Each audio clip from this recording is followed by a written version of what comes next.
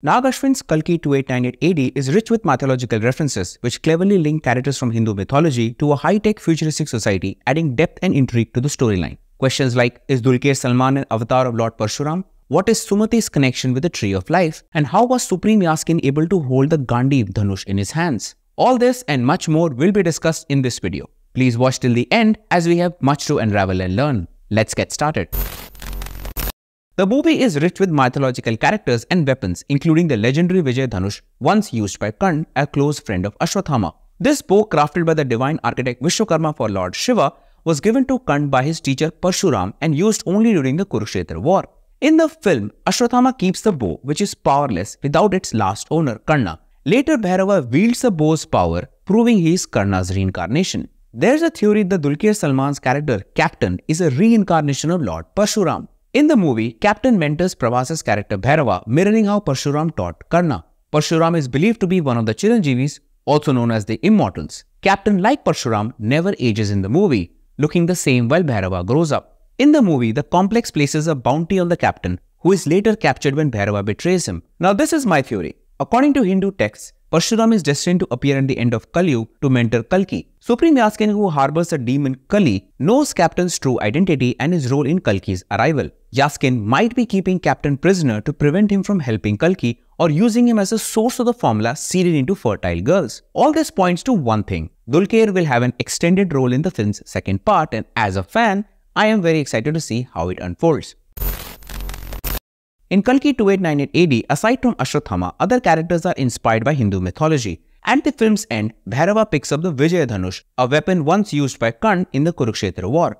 Ashwathama, recognizing Bhairava as Karna's reincarnation, sees his friend in him. Karna was known for his dedication to equality and welfare for all, asking Lord Krishna to ensure no one faced caste discrimination in his last moments. This aspect likely inspired Nag Ashwin as Bhairava faces similar discrimination in the film he and others are barred from entering the complex due to their financial status and perceived unworthiness. In Hindu mythology, Chiranjeevis have inspired countless individuals over centuries by offering wisdom, protection, and guidance. Suppose my theory about Dulquer being Lord Parshuram is correct, in that case, the second part will feature two Chiranjeevis, Ashwathama and Captain, and one of them will impart wisdom and guidance to Bhairava by revealing his past and purpose. This revelation will lead Bhairava to join forces with Ashwathama to save Sumati. Hats off Nag Ashwin sir, mind-blowing symbolism.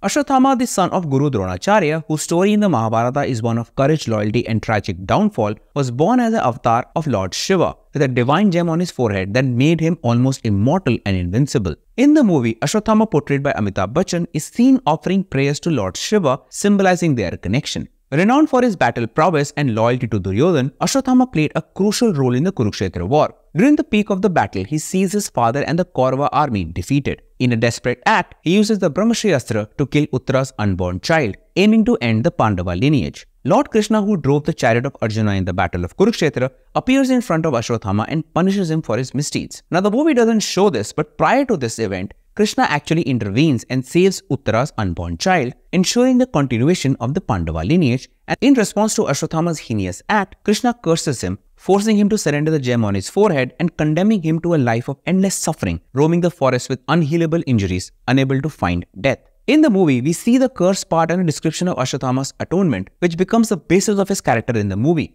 Krishna tells Ashwathama that in Kali, the demon Kali will be at his peak, powerful enough to stop the birth of Vishnu's 10th avatar, Kalki. Ashwathama's time of atonement will come when the air becomes toxic, the Ganga river dries up, and the divine gem finds its way back to him. This will be the sign that he must protect and guide Kalki. Until then, Ashwathama is depicted wrapped in bandages, concealing his wounds. When he regains his gem, his injuries heal, further assuring him of his duty to protect Kalki and achieve his atonement. A key symbolism in this narrative is a white horse running behind Krishna when he speaks to Ashwathama. This white horse is Devdutt, who will help Kalki rid the world of his nemesis and usher in the Satyug. Devdutt is a manifestation of Garud Devta. In the movie, when Sumati arrives in Shambhala and is welcomed by its people, statues of Garud Devta atop the corners signify the commencement of Kalki's avatar and his right Devdutt.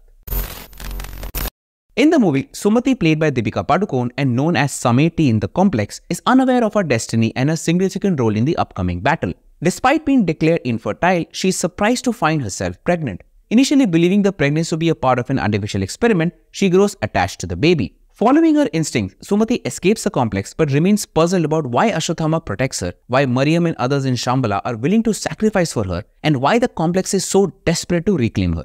The movie draws parallels with the Kalki Puran, where Kalki was born to Vishnu Yashas and Sumati in Shambhala. The film features an inverted tree known as the Ashwatha tree. Lord Krishna explains that the tree's inverted nature symbolizes the connection between the gods and the roots of the tree, with Lord Vishnu residing within it. Given that Kalki is the 10th avatar of Lord Vishnu, the film symbolically captures this connection. According to the Kalki Puran, Kalki will be born under this very tree, further aligning the film's narrative with mythology.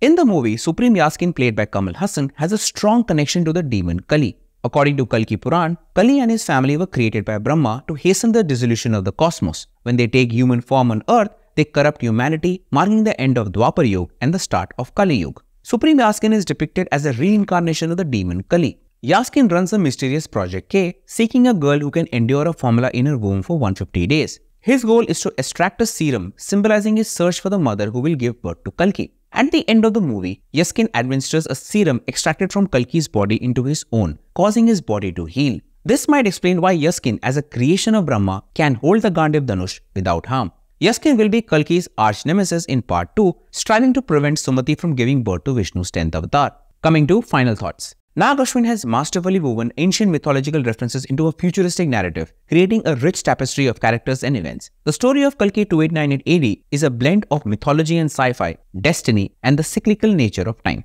That's all from us. If you found this exploration insightful and inspiring, please share your thoughts in the comments below. Please like, share and subscribe for more content like this. Thanks for watching. Feel free to check out more content from our channel on the next screen. Until then, stay tuned and keep watching.